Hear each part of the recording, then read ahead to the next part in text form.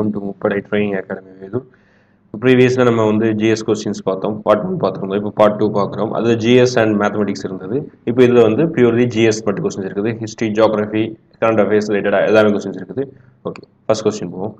First question பாருங்க. The world health day is celebrated on option correct வந்து A option April seven அதாவது ஒவ்வொரு வருஷமும் டிஃப்ரெண்ட் டிஃப்ரெண்ட் டேஸ் நம்ம கொண்டாடுவோம். ஒவ்வொரு ஈவெண்ட்டுக்கும் ஒவ்வொரு டேஸ் கொண்டாடுவோம். Example teachers day national health day அதுக்கப்புறம் ஒரு டாக்டர்ஸ் டே இந்த மாதிரி டிஃப்ரெண்ட் கொண்டாடுறோம் இது national world health day was April seven அதாவது டூ தௌசண்ட் டுவெண்ட்டியில் இதோட தீம் பார்த்துக்கோங்க டூ தௌசண்ட் டுவெண்ட்டியில் தீம் வந்து the year of nurses and midwives okay இதான் தீம் அதாவது அதே மாதிரி டூ தௌசண்ட் டுவெண்ட்டி ஒன்ல நெக்ஸ்ட் இந்த இயர் வரும்போது அதுக்கு ஒரு தீம் வந்து நம்ம அடுத்து வரும்போது நம்ம கரண்ட் அஃபேர்ஸ் ரிலேட்டடாக பார்த்துக்கோங்க ஒவ்வொரு இயருக்கும் டேட்டும் அதோட தீமும் கண்டிப்பாக படிச்சுக்கணும். Okay next second question the non cooperation movement was launch by Gandhiji in the year of nineteen twenty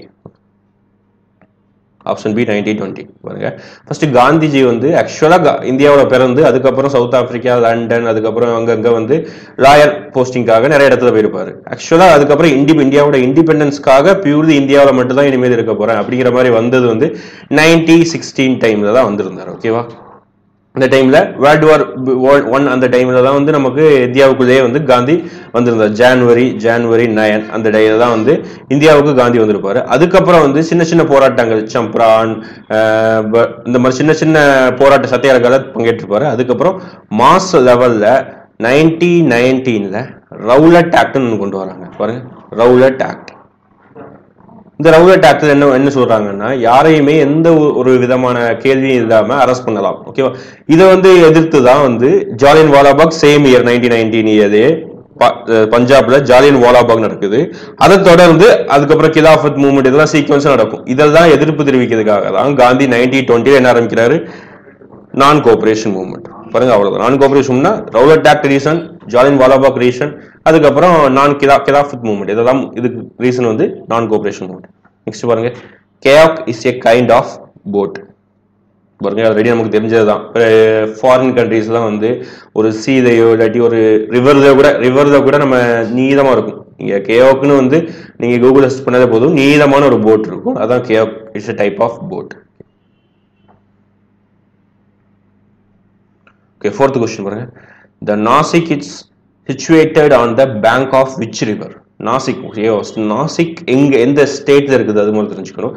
Nashik is a Maharashtra ஸ்டேட்ல இருக்குது. பாருங்க நாசிக் இஸ் மகாராஷ்டிரா இருக்குது. அது என்ன ரிவர் பேங்க்ல இருக்குன்னா கோதாவரி. பாருங்க அதாவது நம்ம சிலபஸ் அதாவது ஜென்ரலாக ஜிகேங்கிற சிலபஸ் இருக்குது. அதில் வந்து ஒவ்வொரு ரிவர்லையும் என்னென்ன சிட்டிஸ் இருக்குது? அது ரொம்ப முக்கியமான படிக்க வேண்டிய சப்ஜெக்ட் வந்து ஒவ்வொரு ரிவர்லையும் என்னென்ன மேஜர் சிட்டிஸ் என்னதான் இருக்குது? இப்போ எக்ஸாம்பிள் கங்கா யமுனா ரெண்டுமே வந்து மெர்ஜாகிற சிட்டியில வந்து நமக்கு என்ன சிட்டி இருக்குது?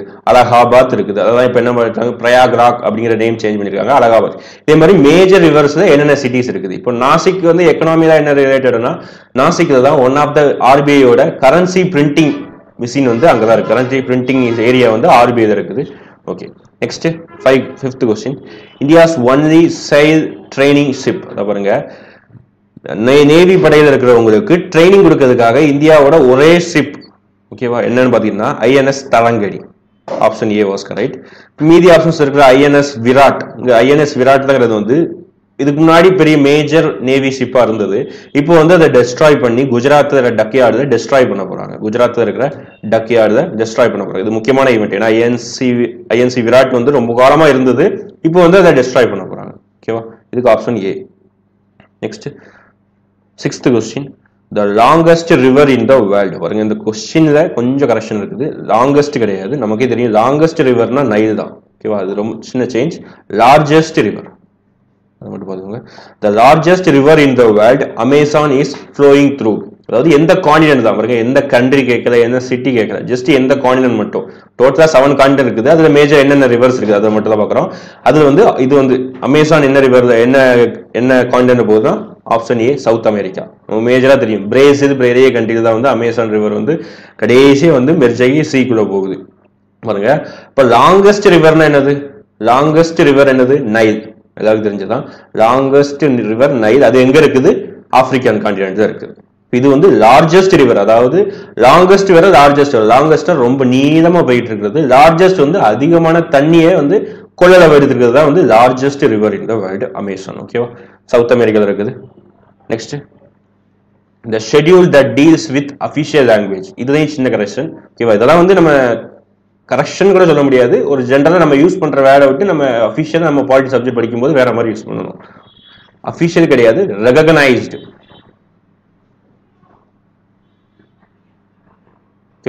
the schedule deals with recognised language in India பாருங்க அஃபிஷியல் சொல்லக்கூடாது ஆனால் ரெகனைஸ் தான் சொல்லணும். ஓகேவா the schedule deals with recognised languages in India was eighth schedule நமக்கு தெரியும்.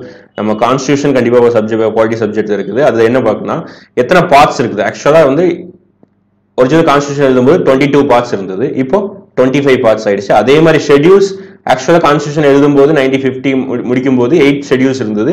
இப்போ என்ன ஆயிடுச்சு? டுவெல் ஷெட்யூல்ஸ் ஆயிடுச்சு. நம்ம கொஸ்டின் என்ன அஃபிஷியல் சாரி ரெகனைஸ்டு லாங்குவேஜ் வந்து எந்த ஷெடியூல பேசப்படுது? பாருங்க எயித் ஷெட்யூல் அப்போ எத்தனை ரெகனைஸ்டு லாங்குவேஜ் இருக்குது? கான்ஸ்டியூஷன் இம்ப்ளிமெண்ட் பண்ணும்போது ஃபோர்டீன் ரெகனைஸ்ட் லாங்குவேஜஸ் இருந்தது. இப்போ டுவெண்ட்டி டூ ஆயிடுச்சு. அப்போ அஃபிஷியல் லாங்குவேஜ்னா என்னது? அஃபிஷியல் லாங்குவேஜ்னா இந்தியாவில் அஃபிஷியல் லாங்குவேஜ் வந்து ரெண்டே ரெண்டு தான். எதெல்லாம் எல்லாரும் தெரிஞ்சது தான் இங்கிலீஷ் அதுக்கப்புறம் ஹிந்தி. ரெண்டு தான் அஃபிஷியல் லாங்குவேஜ் ஆனால் ரெகனைஸ் லாங்குவேஜ் எவ்வளோ இருக்கு? டுவெண்ட்டி டூ லாங்குவேஜ் இருக்கு. தமிழ் சான்ஸ்கிரிட் மலையாளம் மேஜர் லாங்குவேஜ் எல்லாமே ரெகனைஸ் லாங்குவேஜாக இருக்கும். பாருங்க இதில் வந்து ரெகனைஸ் லாங்குவேஜ் இருக்குது பல பேர் தப்பா நினைச்சிட்டாங்க நோட் பிரிண்ட்ல வந்து ஃபிஃப்டீன் பிளஸ் டூ அந்த லாங்குவேஜஸ் தான் ரெகனைஸ் லாங்குவேஜ் சொல்றாங்க. அதெல்லாம் கிடையாது. ஓகேவா ரெகனைஸ் லாங்குவேஜ்ல அது வேற. நோட் பிரிண்ட் இருக்கிறது வேற இங்க வேற. ஓகேவா next eighth question number of commands in Indian army பாருங்க சிம்பிள் கொஸ்டின் தான். நம்ம ஆர்மி ரிலேட்டடாக நம்ம படிக்கும்போது அது ரிலேட்டடாக ஒரு ஜிகேவும் தெரிஞ்சு வச்சுக்கணும். Number of commands in Indian army வந்து செவன் நம்பர் ஆஃப் கமாண்ட்ஸ் இருக்குது. இதெல்லாம் வந்து southern command southern eastern command north eastern command இந்த மாதிரி வந்து பேஸ்ட் ஆன் திசைகளை பொறுத்து ஓகேவா பொஷனை பொறுத்து அதோட கமாண்ட்ஸ் தான் வேரி ஆகும் ஓகேவா simple question next ninth question Jim Corbett national park இங்கே பாருங்க. நேஷனல் பார்க்குங்கிறது வந்து நம்ம தமிழ் என்ன சொல்லுவோம் தேசிய பூங்காங்கிற மாதிரி சொல்லுவோம் ஓகேவா Jim Corbett national park is located and Uttarakhand ஓகேவா ஆக்சுவலாக இதுதான் வந்து இந்தியாவோட ஃபர்ஸ்ட் நேஷனல் பார்க் இந்தியாவோட ஃபர்ஸ்ட் நேஷனல் பார்க் எதுன்னு கேட்டாலும் இதுதான் ஆன்சர் என்னது? ஜிம் கார்பெட் இந்தியாவோட first national park Jim Corbett எங்கே இருக்குது? உத்தரகாண்ட் ஓகேவா next the currency of Saudi Arabia நமக்கு தெரியும் சவுதி அரேபியாங்கிறது அரேபியன் கண்ட்ரிஸ் பெட்ரோல் பர்க் அந்த ஒபாக் கண்ட்ரிஸ் அதெல்லாம் சொல்றோம்ல. அந்த கண்ட்ரிஸ் இருக்கிறது சவுதி அரேபியா அந்த சவுதி அரேபியாவோட கரன்சி நம்ம எக்கனாமிக் டாபிக்ல என்னென்ன கண்ட்ரியோட மேஜர் கண்ட்ரிஸோட கரன்சிஸ் அதுக்கப்புறம் கேபிட்டல்ஸ் அதெல்லாம் படிக்கணும். அது ஒன் ஆஃப் த கொஸ்டின் தான். Currency of Saudi Arabia Saudi அரேபியோட currency வந்து ரியால் ஓகே அப்ப லிரா லிரா லிராங்கிறது என்ன கண்ட்ரியோட கரன்சி டர்க்கி பாருங்க. லிரா என்னோட கண்ட்ரி கரன்சினா டர்க்கி அப்ப தினார் என்ன கண்ட்ரியோட கரன்சி நமக்கே தெரியும். அதிகமா நம்ம பேசும்போது தினார் தினார் நிறைய பேசுவோம் தினார் தான் வந்து நிறைய வேல்யூ இருக்கிற கரன்சி ஓகேவா இப்ப தினார்னா என்னது? யுஏஇ ஓகேவா அந்த மாதிரி கண்ட்ரிஸ் குவைத்து அந்த மாதிரி கண்ட்ரிஸ் தான் தினார் தான் நம்ம யூஸ் பண்றோம் ஓகே இப்போ இந்தியாவோட கரன்சி என்ன? நமக்கு தெரிஞ்சதா? ரூபாய். இந்தியாவோட கரன்சி ரூபாய். அதோட சிம்பிள் தெரிஞ்சுக்கணும் ஓகேவா இதான் simple okay next the first lady governor of independent India பாருங்க. நம்ம ஜிகே தான். ஆக்சுவலாக எல்லாமே சப்ஜெக்டாக இருந்தாலும் ஜிகே தான். இதில் வந்து நம்ம ஃபர்ஸ்ட் உமன் பற்றி நிறைய படித்தோம் எந்தெந்த பொசிஷன் வந்து எவ்வளோ பெரிய ஃபர்ஸ்ட் ஃபர்ஸ்ட் உமன்ஸ் இருந்தாங்க example first woman prime minister யாரு? Indira Gandhi. First woman president யார்? பிரதிபா பாட்டீல். இந்த மாதிரி நம்ம உமன் ரிலேட்டடாகவும் ஃபர்ஸ்ட் யார் பண்ணாங்க? அது மட்டும் படிச்சு வச்சோம் அதே மாதிரி தான் இங்கே. First lady governor of independent India கவர்னர்னா நமக்கு தெரியும். ஒரு ஸ்டேட்டுக்கு சிஎம் இருக்கிற மாதிரி ஒரு ஸ்டேட்டுக்கு ஒரு கவர்னர் இருப்பாங்க. சிஎம் இல்லாத டைம் அதோட ஃபங்க்ஷன்ஸ் பண்ணதுக்கு தான் கவர்னர் அப்போ first lady governor of independent India பாருங்க சரோஜினி நாயுடு இண்டிபெண்டன்ட்ல ஃபர்ஸ்ட் ஃபர்ஸ்ட் கவர்னர் இருந்த சரோஜினி நாயுடு இவங்க வந்து இண்டிபெண்டன்ஸ் லீடரா இருந்தாங்க. ஓகேவா காந்தி கூட நேரு கூட தான் இண்டிபெண்டன்ஸ் லீடரா படிச்சிருந்தனால இவரை வந்து ஃபர்ஸ்ட் ஒரு ஸ்டேட்டுக்கு கவர்னரா போட்டிருந்தாங்க. அப்ப ஆப்ஷன் பி இருக்கிறது பாருங்க சீதா தீக்ஷித் இவங்க வந்து ஒரு ஃபேமஸான காங்கிரஸ் பார்ட்டியில இருக்கிற லீடர் என்னவா இருந்தாங்க? டெல்லியோட சிஎம்மா ரொம்ப வருஷமா இருந்திருக்காங்க. கிட்டத்தட்ட அபவ் டென் இயர்ஸ் மேலேயே வந்து டெல்லியோட சிஎம்மா இருந்திருக்கிறாங்க. டெல்லிக்கு சிஎம் இருக்காங்க ஒரு ஃபேமஸான ஒரு காங்கிரஸ் பர்சனாலிட்டி ரீசெண்டாக தான் இவங்க இறந்துருந்தாங்க. நெக்ஸ்ட் இந்த விஜயலட்சுமி பண்டிட் இவங்களும் ரொம்ப முக்கியமான பிரச்சனை பாருங்க. விஜயலட்சுமி பண்டிட் ஆப்ஷன் ஏல இருக்கு பாருங்க. விஜயலட்சுமி பண்டிட் இவங்க வந்து யாருன்னா நமக்கு தெரியும் ஐநா சபை யூஎன் ஜெனரல் அசம்பிளின்னு கேள்விப்பட்டிருக்கோம்ல யூஎன் யுனைடெட் நேஷன் அந்த ஜெனரல் அசம்பிளியில பிரசிடென்டா ஒவ்வொருத்தவங்களும் தேர்ந்தெடுப்பாங்க. ஒவ்வொரு கண்ட்ரில இருந்து ஒவ்வொருத்தவங்க நாமினேட் பண்ணி தேர்ந்தெடுப்பாங்க எலெக்டட் பண்ணி. அதுல வந்து இந்தியா சார்பாக ஒரே ஒருத்தவங்க இருந்திருக்காங்க. அவங்க தான் யார்? விஜயலட்சுமி பண்டிட் ஃபேமஸான பர்சன் யூஎன் அசம்பிளியோட பிரசிடென்ட் இருக்காங்க. இந்தியாவில இருந்து ஒரு ஃபர்ஸ்ட் ஒரு மெம்பர் இருக்கிறாங்க ஓகேவா இப்போ ஃபர்ஸ்ட் லேடி கவர்னர்னா இதுக்கு ஆப்ஷன் வந்து C correct next who is the author of book guide பாருங்க.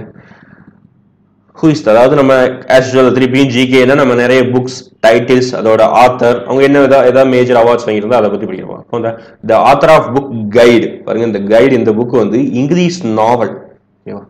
என்ன டைப் ஆஃப் புக்னா இங்கிலீஷ்ல வந்த நாவல் புக் இது ஃபேமஸான ஆத்தர் யாருக்கு ஓரளவுக்கு தெரிஞ்ச ஆத்தர் தான். யார்? ஆர் கே நாராயணன் ஓகேவா?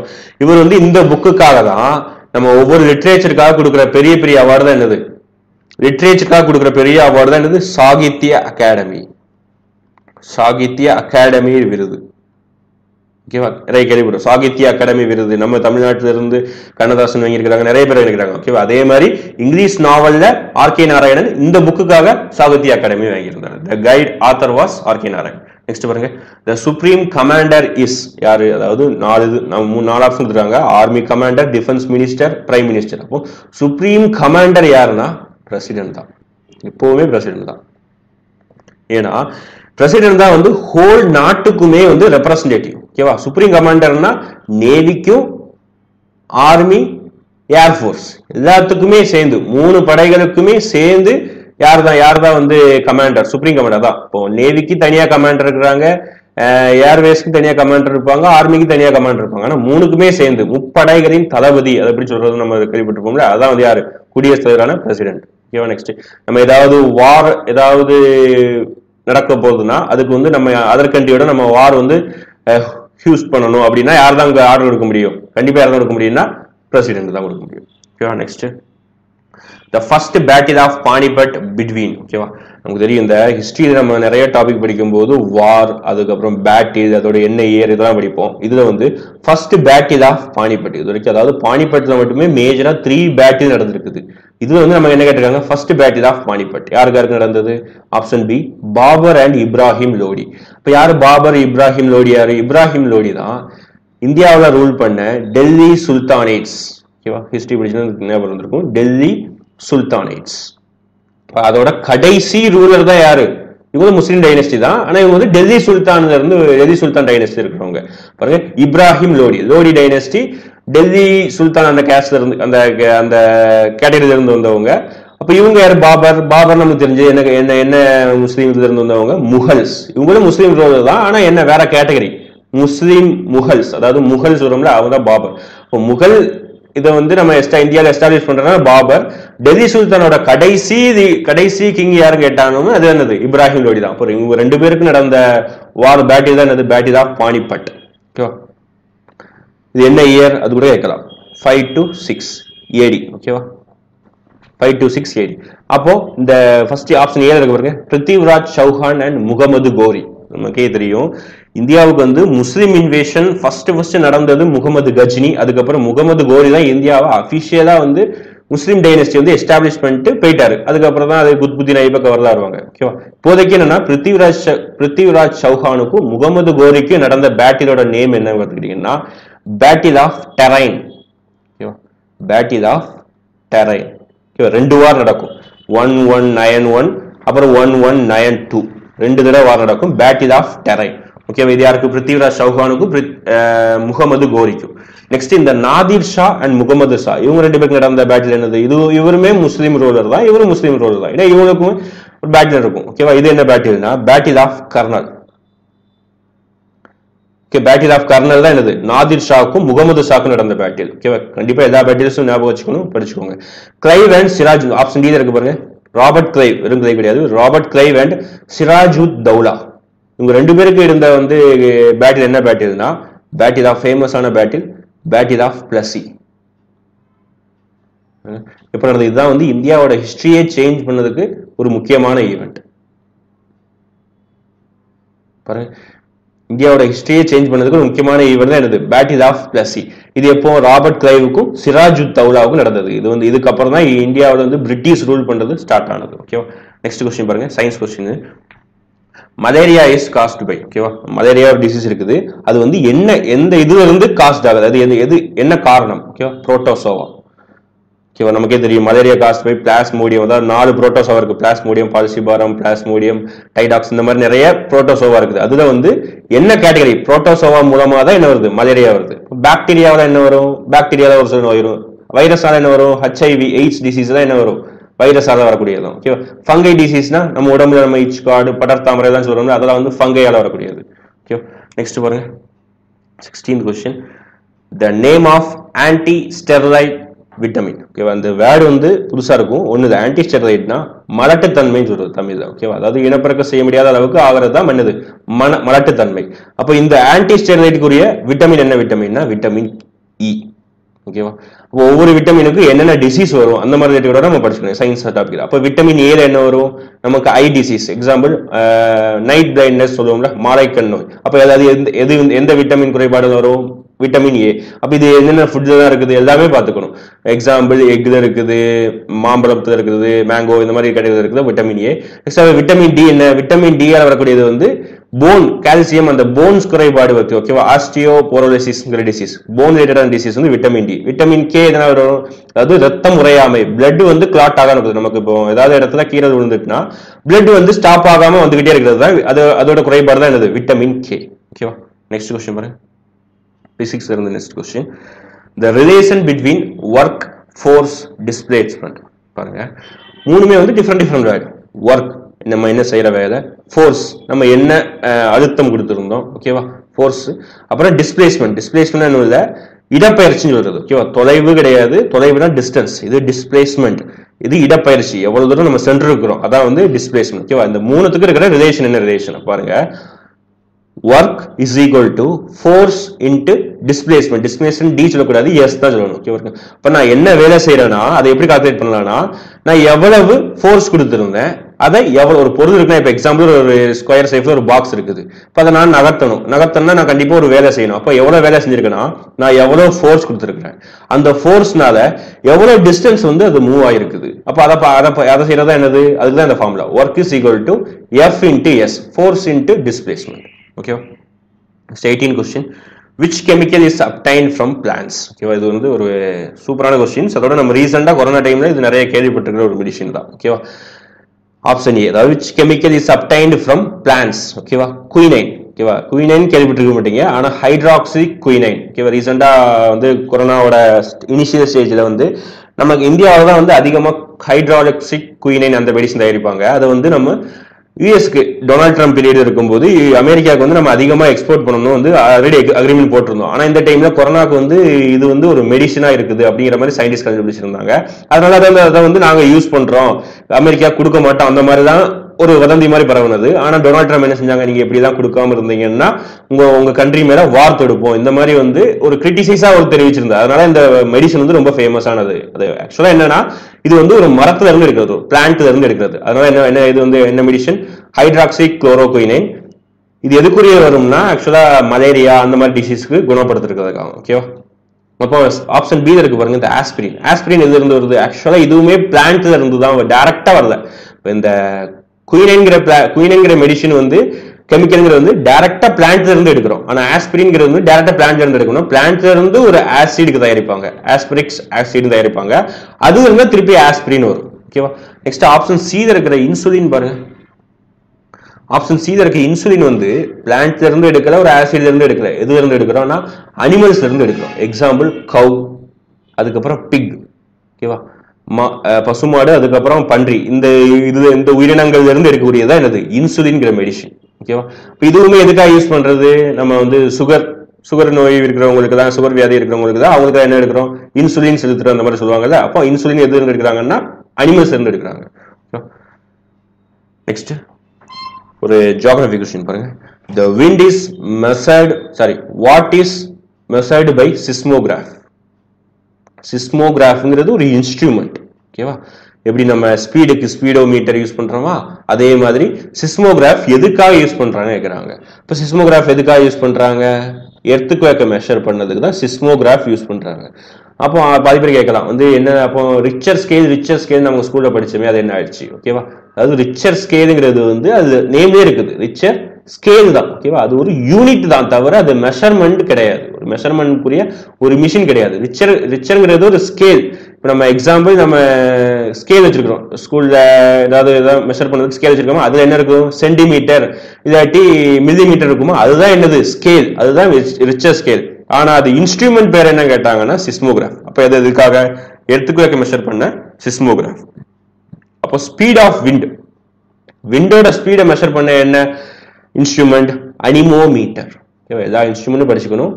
அனிமோ மீட்டர் அப்போ ரெயின் ரெயின் எவ்வளோ ரெயின் பெஞ்சிருக்குது? இப்போ எக்ஸாம்பிள் சென்னையில் அறுபது மில்லி மீட்டர் ரெயின் மழையளவு பெய்திருக்கு. அப்படிலாம் சொல்கிறாங்கல்ல அப்போ எதுக்கு எதுல இருந்து வருது? அப்போ ரெயினை மெஷர் பண்ணதுக்கு ஒரு மிஷின் இருக்குது. என்னது? ரெயின் கேஜ் ஓகேவா இதான் ஒவ்வொரு ஊருக்கும் ஒவ்வொரு டிஃப்ரெண்ட் டிஃப்ரெண்ட் இன்ஸ்ட்ருமெண்ட்ஸ் ஓகேவா இதுக்கு வந்து ஆப்ஷன் சி நெக்ஸ்ட் பாருங்க twenty what gas is used preparation of soda water ஓகேவா இதெல்லாம் வந்து ஈஸியான கொஸ்டின்ஸ் தான். சோடா வாட்டர் உருவாக்குறதுக்கு என்ன கேஸ் வந்து இன்ஸ்டியூட் பண்றாங்க? கார்பன் டை ஆக்சைடு இதாக தெரிஞ்சதுதான் சோடாவை நம்ம ஓப்பன் பண்ணும்போது இப்போ புஷ்னு கேஸ் வரும்ல அதெல்லாம் எது இருந்து வருது? கார்பன் டை ஆக்சைடு இருக்குதுன்னா அந்த மாதிரி தான் கேஸ் வருது ஓகேவா next twenty one question what is what what which of the following is a scalar quantity பாருங்க அப்போ ஸ்கேலார்னா என்ன தெரியணும் என்ன எது வந்து இந்த நாலு ஆப்ஷன்ல எது வந்து ஸ்கேலார் குவாண்டிட்டி அப்போ ஸ்கேலார்னா என்ன? வெக்டார்னா என்ன தெரியணும் ஓகேவா ஆக்சுவலாக ஸ்கேலார்னா ஜஸ்ட் ஒரு குவாண்டிட்டி மட்டும் இருக்கிறது. எக்ஸாம்பிள் ஈஸியாக புரிஞ்சிரு பாருங்க. குவான்டிட்டி மட்டும் இருக்கிறது. அதாவது பத்து மீட்டர் இருபது கிலோமீட்டர் இல்லாட்டி இருபது கிலோமீட்டர் ஸ்பீடில் இந்த மாதிரி சொல்றதா என்னது? ஸ்கேலார் யூனிட் ஸ்கேலார் குவாண்டிட்டி மட்டும் சொல்றோம். ஓகேவா அதே இது வெக்டார்னா என்னன்னா என்ன வெக்டார் இப்போ வெக்டார்னா அதோட டைரக்ஷன் இருக்கணும் அதோட மெஷர்மெண்ட் இருக்கணும். அது பேர் தான் என்னது? வெக்டார் இது. இப்போ இப்போ இது வந்து இந்த டைரக்ஷன்ல போயிருக்குது. இப்போ நம்ம எக்ஸாம்பிள் பாருங்க. ஃபோர்ஸ் கண்டிப்பாக ஃபோர்ஸ்னு நம்ம இது வந்து என்னது? வெக்டார் குவான்டிட்டி தான். ஏன் வெக்டார் குவான்டிட்டி வரும்?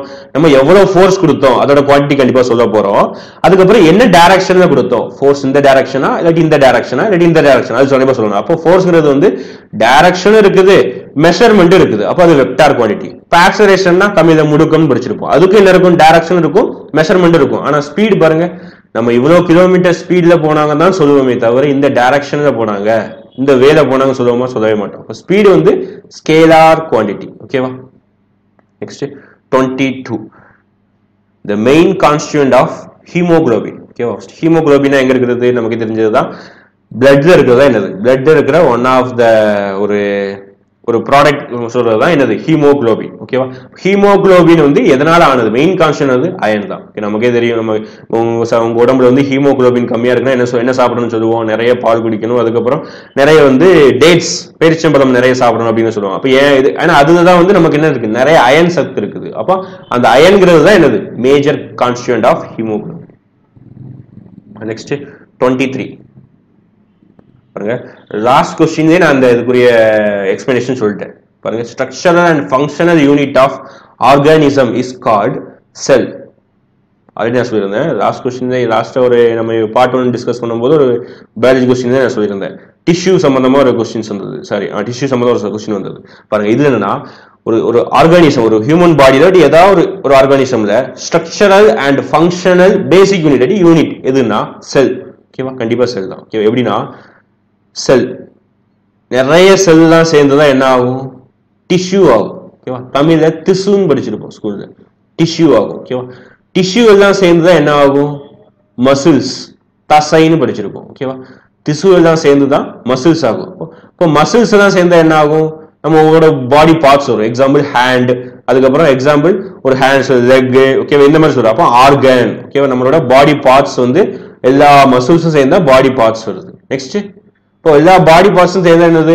ஆர்கன் சிஸ்டம் ஓகேவா இந்த டயக்ராம் புரியுதா? நிறைய செல்ஸ் எல்லாம் சேர்ந்து நம்ம உடம்புல வந்து கோடிக்கணக்கான செல்ஸ் இருக்குன்னு சொல்லுவாங்க. ஏன்னா பேசிக் யூனிட் நிறைய இருக்கும். செல்ஸ் எல்லாம் நிறைய சேர்ந்ததா என்னது? டிஷ்யூ நிறைய டிஷ்யூ சேர்ந்ததா என்னது? மசில்ஸ் எல்லா மசில்ஸும் சேர்ந்தது என்னது? ஆர்கன்ஸ் ஆர்கன்ஸ் நிறைய சேர்ந்தது என்னது? ஆர்கன் சிஸ்டம் ஓகேவா இப்போ பேசிக் யூனிட் என்ன கேட்டாங்கன்னா செல் தான். பாருங்க. The blood in human body is purified in பாருங்க. நம்மளோட ஹியூமன் மனி மனித மனித உடம்புல இருக்கிற ரத்தத்தை வந்து பியூரிஃபை பண்றது யார்? ஓகேவா நிறைய பேர் தப்பா நினைச்சிருப்பாங்க ஹார்ட் தான் வந்து நம்ம உடம்புல இருக்கிற பிளட்டை வந்து பியூரிஃபை பண்றது கிடையாது. ஓகேவா ராங் ஆன்சர் கிட்னி தான் ஆக்சுவலா என்னது? நம்ம உடம்புல இருக்கிற ரத்தத்தை வந்து பியூரிஃபை பண்றது. ஓகேவா பியூரிஃபை பண்றது வேற அசுத்த ரத்தத்தையும் அதாவது பேட் பிளட்டையும் eh, அப்புறம் குட் பிளட்டையும் வந்து செப்பரேட் பண்ணி விடுறதா என்ன பண்றது? ஹார்ட் பண்றது. ஓகேவா நமக்கே தெரியும். ஒரு சில ஹார்ட் இருக்க ஒரு பார்ட்ஸ் வந்து அதில் குட் ரத்தத்தை நல்ல ரத்தத்தை மட்டும் எடுத்துக்கும் ஒரு சிலது வந்து அசுத்தமான ரத்தத்தை மட்டும் எடுத்துக்கொள்ளும். ஓகே அது வந்து ஹார்ட் பண்றது. ஆனா பியூரிஃபை பண்றது எதுன்னு கேட்டாங்கன்னா கிட்னி தான். ஓகேவா லாஸ்ட் கொஸ்டின் பார்த்தோம் கிட்னியோட பேசிக் யூனிட் என்ன? நெஃப்ரான் ஓகேவா லாஸ்ட் கொஸ்டின் நம்ம பார்த்துருந்தோம் கிட்னியோட basic unit nephron Next 25, last question. Acid rains are caused due to the presence of which gases? Option A, NO2, CO2. Okay, 2 வந்து பேஸ்ல வரணும் NO2, CO2. இந்த ரெண்டு கே ரெண்டு கேஸால தான் நமக்கு ஆசிட் ரெயின் ஆசிட் ரெயின் என்னது? அமித மழை என்ன அப்போ அமில மழைனா சாதாரணமாக ரெயின் பெய்கிற மாதிரி தான் ரெயின் போகும். ஆனால் அந்த அந்த தண்ணியில் வந்து அவ்வளோ ஆசிட் இருக்கும். ஓகேவா அது ஒரு ஆசிடு எப்படி எந்த கண்டு இருக்குதோ அந்த அளவுக்கு அந்த மழை வந்து இருக்கணும் அந்த ரெயின் ஏன்னா நமக்கு ரெயின்னாலே என்ன இருக்கும்? ஓரளவுக்கு அது பிஹெச்சில் நார்மலாக தான் இருக்கும். பிஹெச் குவான்டிட்டி பிடிச்சிருப்போம் அது வந்து பிட்வீன் செவன் ஓகேவா ஃபைவ் டு செவன் சொல்லுவாங்க. ஃபைவ் டு செவன் தான் ஒரு ரெயினோட அளவு இருக்கணும். ஆனால் ரொம்ப ஃபைவ்க்கும் பிலோ போயிடும்போது அது என்னவாயிரும்? அது வந்து ஆசிட் ரெயினாக மாறிடுது. அப்போ ஆசிட் ரெயினுக்கு மெயின் காசு எதுவும் பார்த்துக்கிட்டீங்கன்னா NO2 டூ எஸ்ஓ டூ தான். இப்போ எக்ஸாம்பிள் நம்ம ஆசிட் ரெயின் அதோட எஃபெக்ட் எங்கே பார்க்கலாம்னா நம்மளோட உலக அதிசயங்களில் ஒன்றான தாஜ்மஹால் இருக்குது. தாஜ்மஹால் வந்து முத ஒரு இருபது வருஷம் முப்பது வருஷத்துக்கு முன்னாடி வந்து நல்ல- பியூர் ஒயிட்டா பளபளன்னு இருந்திருக்கும். ஆனா இப்போ பாத்தீங்கன்னா நிறைய மஞ்சள் பிடிச்சு ஒரு மாதிரியா வந்து ஒரு எல்லோயிஷா மாற ஆரம்பிச்சிச்சு. அதுக்கு என்ன காரணம்? ஆசிட் ரெயின் ஏன்னா அது டெல்லியை சுத்தி குருகிராம் சுத்தி வந்து நிறைய ஃபேக்ட்ரிஸ் இருக்கு. ஃபேக்ட்ரியில இருந்து நம்ம நம்மளோட பைக்ஸ்ல இருந்து ரிலீஸ் ஆகிற கேஸஸ் தான் என்னது? என்ஓ டூ எஸ்ஓ டூ அப்போ அதுதான் என்னது? நம்மளோட மேகங்களில் கலந்து அதுக்கப்புறம் அது ஆசிட் ரெயினா ஓகேவா பாருங்க டுவெண்ட்டி ஃபைவ் கொஸ்டின்ஸ் ஜிஎஸ் மட்டும் தான் பார்த்துருக்குறோம் ஓகேவா எல்லா கொஸ்டின் முடிஞ்சது. தேங்க்யூ